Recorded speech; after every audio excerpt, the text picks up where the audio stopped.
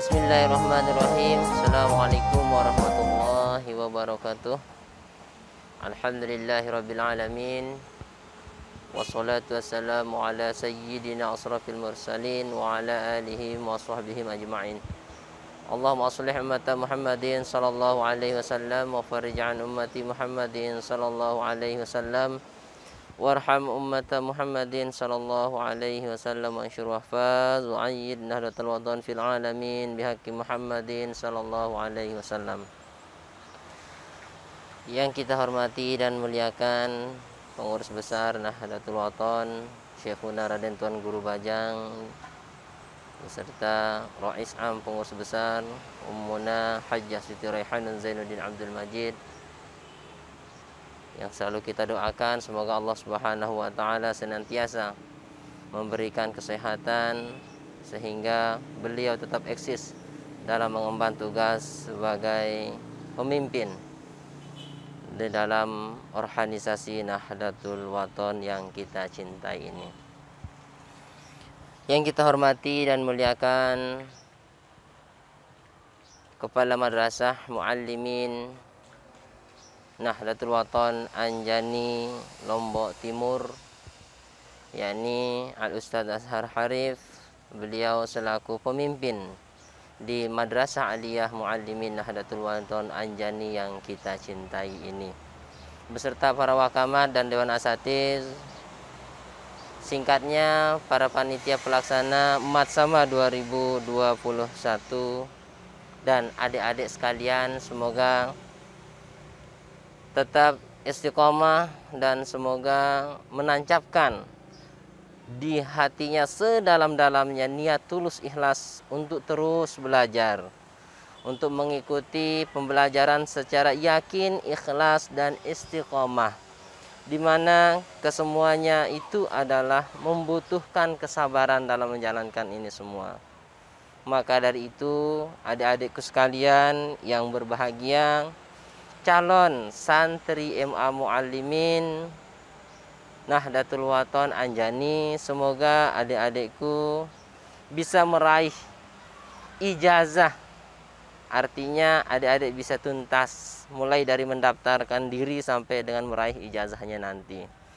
Adik-adikku sekalian yang berbahagia beserta panitia yang tiang hormati dan cintai serta banggakan Alhamdulillah pada hari ini Tiang mendapatkan tugas yang diberikan oleh panitia untuk menyampaikan suatu materi di mana mudah-mudahan materi ini bisa bermanfaat bagi pribadinya Tiang dan adik-adikku sekalian sebagai pegangan kita dalam mengarungi kehidupan ke depan. Adik-adik yang berbahagia dan yang Tiang cintai.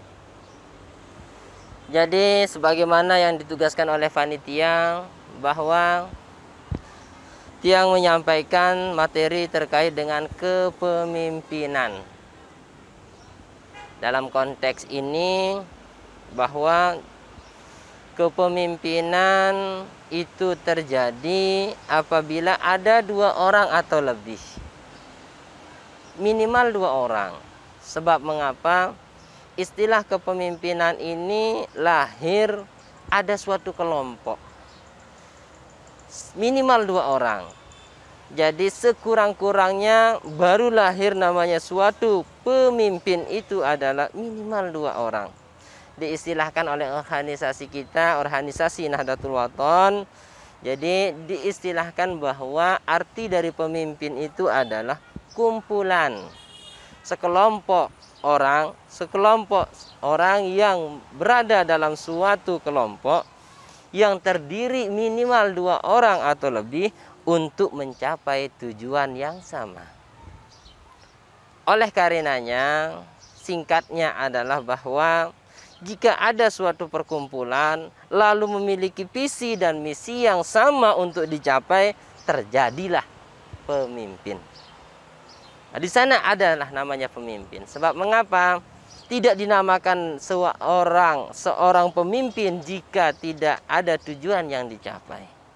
Akan tetapi dengan adanya suatu visi dan misi dikategorikan demikian, ada tujuan dan ada harapan yang ingin dicapai oleh seseorang tersebut, maka itulah dikatakan dengan pemimpin.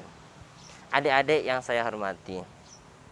Nah, jadi waktu yang singkat ini adalah saya memanfaatkan untuk itu besar harapan kami kepada adik-adikku sekalian minimal di dalam kita berorganisasi kita kenal adalah suatu kelompok dan paling minimal lagi itu adalah paling kecil itu adalah setidak-tidaknya kita bisa memimpin diri kita sendiri tentang apa? Tentang siapa diri kita. Dan kita akan kembali ke mana? Minimal itu. Sebab mengapa dalam kurun ranah yang besar lagi mungkin berat sekali menjadi seorang pemimpin. Apakah ia kita kategorikan menjadi seorang pemimpin itu adalah orang yang gagah perkasa? Orang yang kaya?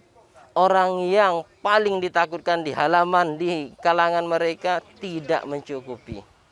Tetapi setidak-tidaknya menjadi pemimpin itu adalah setidak-tidaknya sekurang-kurangnya paling tidak mulai dari diri kita sendiri. Sebab mengapa? Sesuatu itu akan lahir ketika apa yang akan kita ucapkan itu dan mulai dari diri kita. Tidak bisa kita akan aplikasikan ke orang lain jika itu tidak kita mulai dari diri kita sendiri. Sebab mengapa? Menjadi seorang pemimpin itu adalah menjadi contoh terhadap anggota yang kita pimpin. Sebab saat ningil, nihil ceritanya ketika kita memerintahkan seorang untuk mengerjakan sesuatu tetapi kita sendiri tidak mampu untuk mengerjakannya. Ini nilainya mungkin dikatakan nol dalam materi kepemimpinan. Adik-adik panitia yang berbahagia, singkatnya jadi paling tidak yang ada dalam diri seorang menjadi seorang pemimpin itu adalah ada empat karakter yang di mana dia itu adalah paling tidak mampu mengorganizing mampu mengumpulkan mampu menyatukan persepsi. Ini peran seorang pemimpin. Jadi jika kita sudah mampu untuk mengumpulkan sekelompok orang, lalu kemudian membuat suatu visi dan misi, dan itu adalah kita sama-sama untuk mencapainya satu karakter dimiliki oleh orang itu, maka ada gambarannya untuk menjadi seorang pemimpin. Kemudian yang kedua itu adalah jadi menjadi seorang pemimpin itu adalah ketika kita sudah mampu mengorganizing suatu kelompok, kita mampu membuat planning, mohon maaf. Jadi yang pertama itu adalah planning. Yaitu adalah kita merencanakan sesuatu. Gambaran dari diri kita sendiri. Itu yang pertama, mohon maaf. Jadi yang pertama itu adalah kita mampu mengorganizing. E, memplanning sesuatu. Misalkan contoh kecil, besok saya mau melangkah ke suatu tempat. Jadi ada harapan kita untuk melangkah itu adalah salah satu planning namanya. Jadi saya harus nyampe di Anjani pada tanggal sekian. Nah ini adalah salah satu contoh daripada kita memplanning sesuatu untuk mencapai suatu tempat atau suatu tuju, tujuan. Lalu kemudian yang kedua, setelah kita introspeksi diri, ternyata tidak memiliki kendaraan satupun untuk kita akan gunakan mencapai tempat tersebut di sinilah tempat kita akan mengorganizing, menanyakan atau mengumpulkan sekelompok orang yang sekiranya membantu kita untuk mencapai tujuan tersebut. Sudah terkumpullah dua orang, saya yang punya keinginan, lalu kemudian yang kedua ada orang yang membantu saya untuk nyampe ke tujuan itu. Syarat yang kedua, berarti ada ciri khas seorang itu adalah untuk menjadi pemimpin. Yang ketiga itu adalah actuating tidak cukup dengan kita kumpul mengadakan orang di dekat kita tetapi tidak jadi jalan. Jadi ketika yang tiga ini sudah kita lakukan maka sangat cakap kembalilah dia itu menjadi seorang pemimpin. Sangat cocok sekali. Mana dia yang ketiga tadi itu adalah actuating atau menjalankan suatu program tersebut naik di motornya di belakang lalu diantar sama teman kita nyampe tujuan tersebut. Itulah namanya actuating menjalankan visi untuk mencapai sana. Itu yang dia jalankan. Terlaksanalah syarat pemimpin yang ketiga. Apa cukup sampai di sana? Tidak cukup. Tinggal satu kategori lalu kemudian bisa dikatakan lengkaplah kita menjadi seorang pemimpin. Cakeplah diri kita itu untuk menjadi seorang pemimpin. Mana dia yang keempat? Itu adalah evaluating sebab tidak kita tidak tahu permasalahan bisa sukses tidaknya suatu kegiatan apabila kita tidak mengevaluasinya. Jadi yang keempat ini adalah menunjukkan kesuksesan kita menjadi seorang pemimpin. Yang keempat ini adalah menentukan kita bisa nggak jadi seorang pemimpin.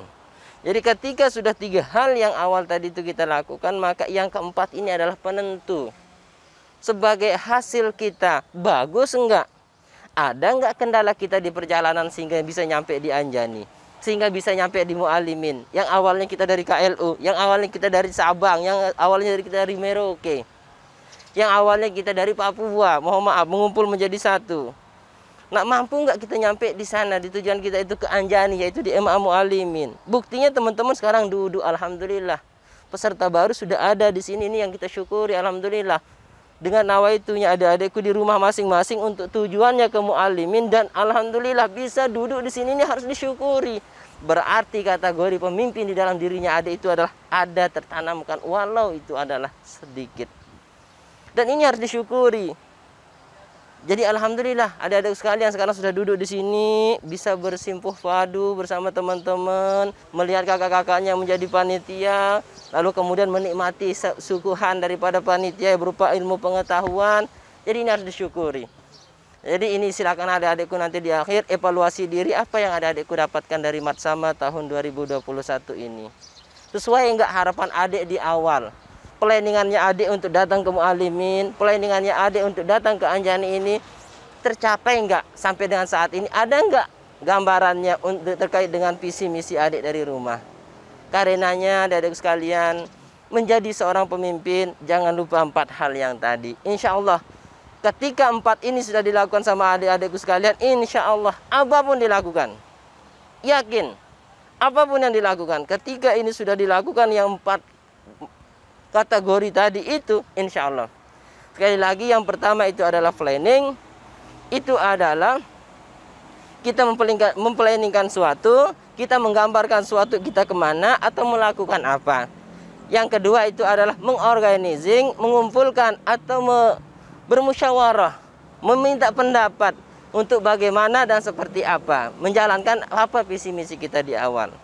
Yang ketiga itu adalah actuating berjalan, naik motor, ngojek kah atau pakai mobil, pakai kendaraan burak kah namanya. Mungkin demikian. Jadi silakan itu di kon eh, di actuating. Jadi berjalan, jaksanakanlah program yang sudah direncanakan itu. Naiklah ke ojek itu lalu kemudian larilah ke MA Mu'alim seperti mana yang diharapkan di awal tadi. Yang terakhir itu adalah jangan lupa adik-adik sekalian ketika menjadi seorang ketua jangan sampai tidak dievaluasi kegiatan itu. Sebab dari sana kita mengukurnya. Jadi itu adalah evaluasi yang terakhir. Nyampe enggak kita di mualimin atau mungkin kita nyampe nya kita nggak tahu? Karena kesasar. Perempatan seharusnya kita ke kanan tapi ternyata kita ke kiri. Nah inilah tempat kita mengevaluasi berapa kali perjalanan yang kita lewati lalu memiliki rintangan di tengah perjalanan. Silakan diukur itu semua.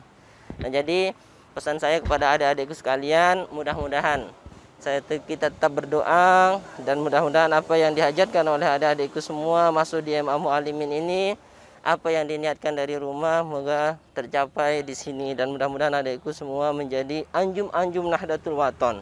Di mana pun adikku berada di mana pun sumbernya adikku sekalian pulang dari MA Mualimin tamat dari MA Mualimin menjadi pejuang yang yakin ikhlas, istiqomah, taat kepada instruksi PB, taat kepada pimpinan kita di negara Republik Indonesia dan taat kepada kepala lingkungan kita sendiri. Selamat mengikuti uh, Watsama 2021 dan janji pada dirinya adikku sekalian semua semoga bisa tamat di Imam Muhalimin ini. Wallahu muwaffiq wal hadi ila Assalamualaikum warahmatullahi wabarakatuh.